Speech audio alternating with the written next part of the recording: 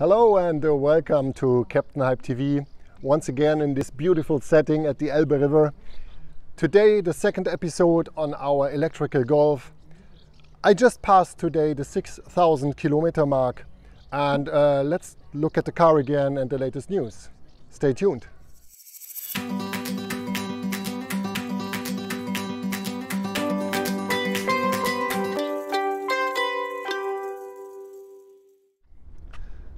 Yes, has been six weeks now till we got the car uh, directly from VW in Wolfsburg. There was no uh, special occasions, there was no special occurrences. Everything was was great. We had a good time with the car. Today I just passed the 6,000 kilometers, as I already said in the intro. So as my wife is doing really 160 kilometers as a daily driver, it will be quite interesting how the car develops in the next months and years with this uh, big load on kilometers. Yeah, there were several comments and reactions to the last video and I want to take these comments and today talk more about the driving of the Golf and uh, the driving experience. So also we will be going on the Autobahn, on the German Autobahn. Greetings go out to Alex and Paul let's go and take a closer look. The car is uh, 4 meter 27 centimeters long and it's 2 meter and 27 millimeters, so roughly 2 meters and 3 centimeters wide, including the mirrors. It's got a weight of around about 1.6 tons and it's got a synchronous permanent magnet engine with 136 horsepower which is 100 kilowatt. The torque of that engine is 290 newton meter. The battery capacity is 35.8 kilowatt hours and VW says you can use 32 kilowatt hours of that capacity. For those of you who want to go shopping or on a trip, you can put up to 341 liters of luggage in the boot and uh, that will be invisible so you can still close it and everything is fine. If you load it just underneath the roof and lay down the rear seat then you can put up to 1231 liters into the trunk. The car offers type 2 alternating currency charging with 7.2 kilowatt. This will fill up the car in round about 5 hours for me that's not really interesting and for us because we charge overnight. But the quick charging with CCS standard goes up to 40 kilowatt and that will give you a sensible recharge in round about one hour. VW says 80% of charging in 45 minutes. I have not checked exactly this charging but the number is sensible because I often already did a quick charging and there you go around about 40 45 minutes to replenish the car when it's round about at 20 or 30 percentage state of charge. Okay, let's get the car started.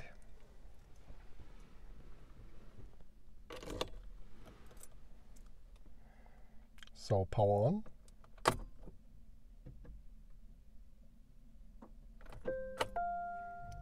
Now that was the last step, so to say the ignition. When you hear the gong, the car is ready to go. I explained in the last video the cockpit arrangement, so I will not repeat that today. And then you select your drive from the parking position to the driving position. If you pull one back, that's maximum recuperation. Okay. And off we go.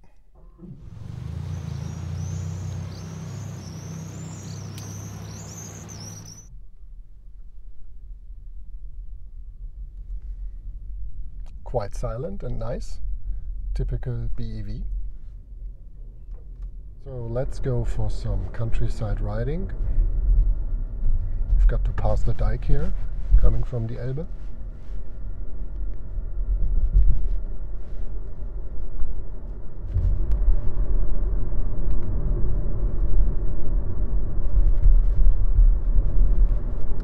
I changed the cockpit view to efficiency.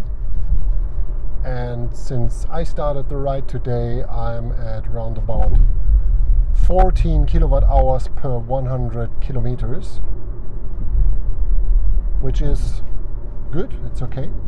And it fits quite well with the let's say 230 to 240 kilometers of range that the car indicates when it is fully charged also the daily driving experience shows that the range indication is quite accurate.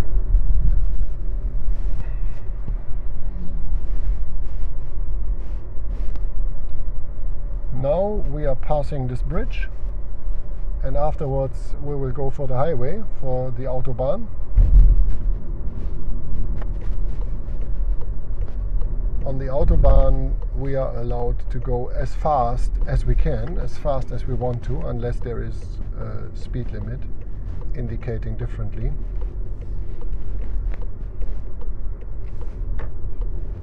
The electrical Golf cannot go faster than 150 kilometers per hour.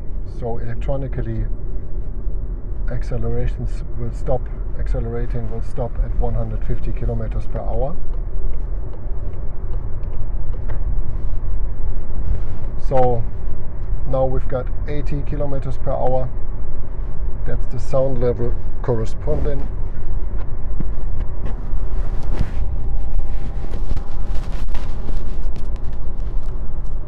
That's the sound level corresponding to 80 kilometers per hour.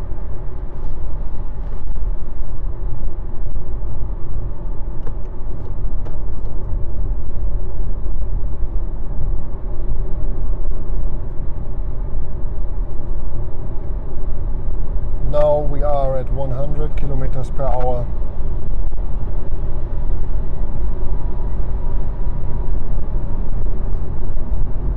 Wind noise and tire noise will increase now for sure. 120 kilometers per hour.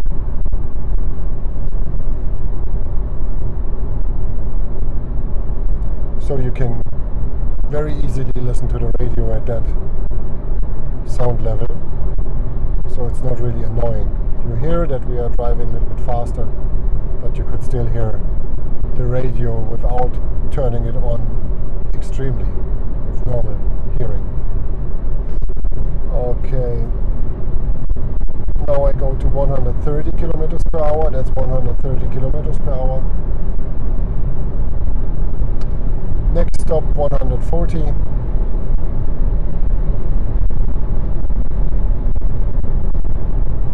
now I floor it to see how far it will go. We passed 150 indicated and now at 157 according to the speed indicator there is no more acceleration. So normally the speed indicators indicate higher speed than the actual speed so I guess that's now the 150, maybe 153. So you see it's a reasonable speed and it's not too loud, but if you want to go quicker, it's good. For the long distance it will take too much electricity. The range is already dropping from 114 to 200 kilometers.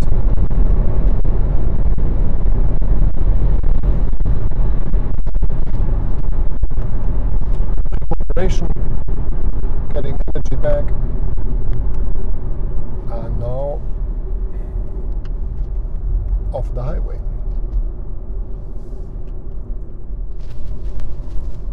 Okay, now we go a little bit cross country here.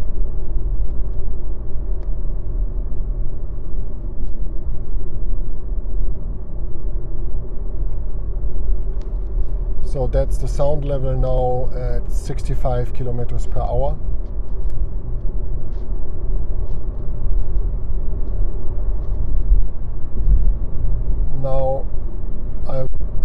kilometers per hour and I will put the speed limit. Speed limiter just to 100 kilometers per hour.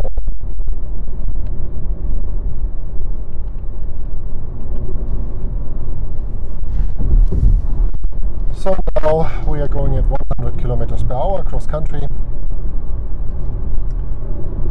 The noise level is okay. Some first wind noises. You can hear the rolling of the tires and that's it you can easily listen to the radio at normal volumes now it's really comfortable it's as I said like driving a Golf and VW really is good at damping noises and damping vibrations the thing that is vibrating most is the camera holder I attached to the window besides me. I hope it doesn't spoil the sound. Now we are approaching a town or small village. I have to reduce the speed to 50 kilometers per hour. The daily ride is really very good for my wife. The 160 kilometers is no problem at all indicated a range of 240 in the morning, coming back with 30 to 50 kilometers in the evening. She likes to go a little bit faster from time to time, but normally she tries not to go quicker than 120 kilometers per hour on the highway. So that's a good range. We will see how winter turns out and how much degradation we will see on this battery.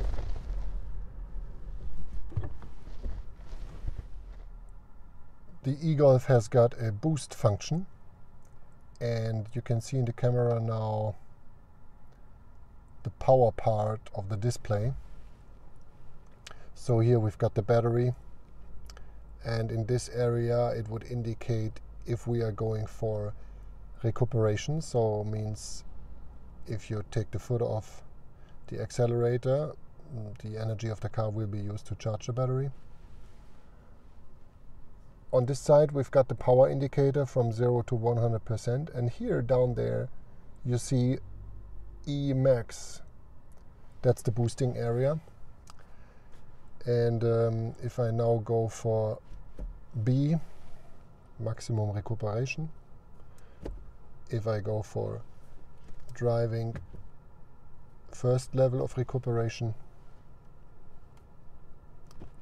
second level of recuperation third level of recuperation and the strongest one is the B.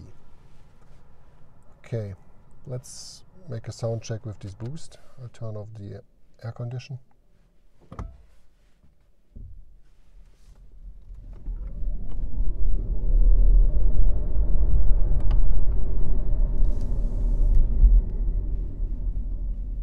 So, that's it. That was a quick boost for sure. I'm not going too fast here as we are inside the village so I had to stay and had to boost just until 50 kilometers per hour. So that's the boost.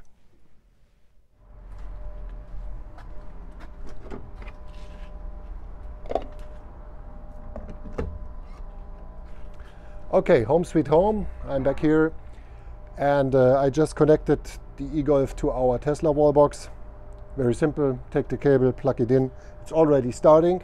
So very comfortable, no time at the fueling station, at the filling station. Just get home, plug in, charge. Especially overnight, very comfortable. Car is always full with maximum range in the morning. And if you want to, you can also turn on the air condition for the morning so that when you get in, it's already cooled or already warm. That's it for today. I hope you liked it. If so, give me your thumbs up and subscribe my channel.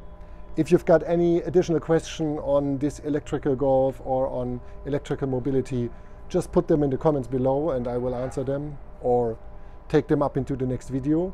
More videos will follow on our experience with this car and also other electromobility videos. Check out my channel from time to time. And until then, see you later. Bye.